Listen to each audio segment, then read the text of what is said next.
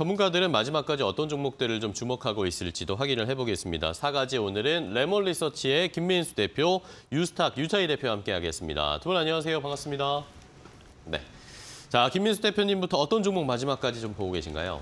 네, 어, 오늘 또 시장에서 작게 움직이는 종목 중에 하나가 제주 맥주입니다. 어, 지금 관련된 내용은 4월 달부터 어, 맥주와 탁주죠, 막걸리라고 합니다. 이쪽에 세금을 인상한다라는 얘기가 나오면서 어, 주가가 탄력을 받은, 받는데 네. 어, 물론 이제 상승폭은 줄어듭니다. 근데 지금 어, 제주 맥주 같은 경우 맥주 이- 리터당 30원 정도 인상이 된다라고 하다 보니까 어, 정부가 소비자 물가 상승률을 반영해서 어, 가격은 올리는데 그래도 상승률이 한 70%만 올린다라고 하는데 다 올리네요. 네, 그런 게 이제 어, 맥주 회사에 무슨 영향을 끼치겠냐라고 하게 되면 가격을 올리죠. 근데 마진도 같이 따라서 올릴 것이다라는 기대감들이 작용하면서 움직인다고 봐야 되는데 근데 어, 대형 어, 어떤 맥, 으, 저, 주류 회사들 같은 경우는 전혀 그렇게 큰 변화가 없는데 조금 더 탄력적으로 움직였다는 게 아무래도 어, 호, 지금 호재일지 아닐지 모르겠지만 가격이 올라가게 되면 또 수요는 줄 수가 있겠죠.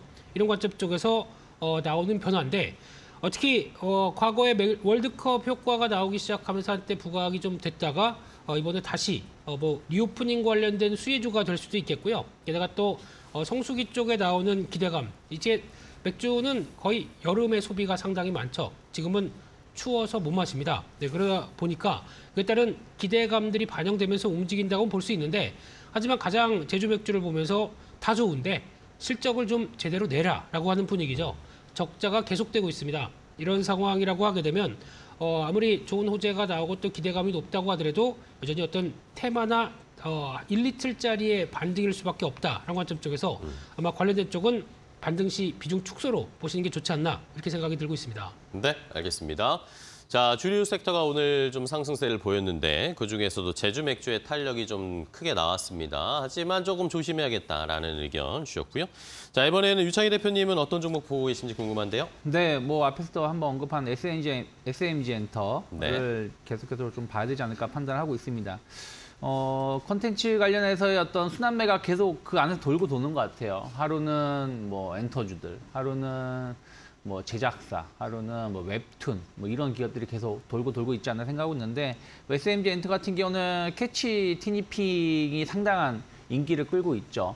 어, 이와 관련해서 지- 그 작년만 하더라도 그 재작년 대비해서 어, 매출이 어, 100% 이상 어, 늘어나는 것이 확인되었고 크리스마스 맞을 때그 판매 어, 선물 1위를 기록할 정도였습니다.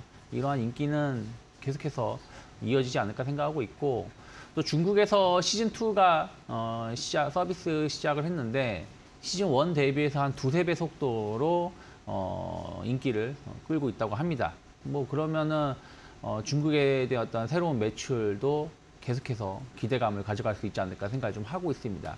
뭐 캐치티니핑뿐이 아니라 다른 어, 좋은 어, 컨텐츠도 어, 다양화되어 있고요. 또 정부 정책에 대한 어떤 기대감들 이런 부분들 본다라면 최근에 한 2주 정도 행보하다가 오늘 어, 강하게 상승을 했고요. 전 충분히 추가적인 상승도 기대해 볼 수 있지 않을까 판단하고 있습니다. 네, 알겠습니다. SAMG 엔터까지 확인해 봤고요. 김민수 대표님 한 종목 간단하게 더 볼까요? 네, 어, 또 하나 종목 중에 이마트가 어, 주가 강세가 네네. 보이는데요. 지금 패턴으로 보게 되면 박스권 상단부를 이제 돌파해서 이제 한 뭐 11만 원대 진입하느냐라는 쪽의 전 단계 같은데 어, 최근에 안 좋은 얘기만 계속 나오다가 또 이제 증권사에서 분위기를 바꿨습니다.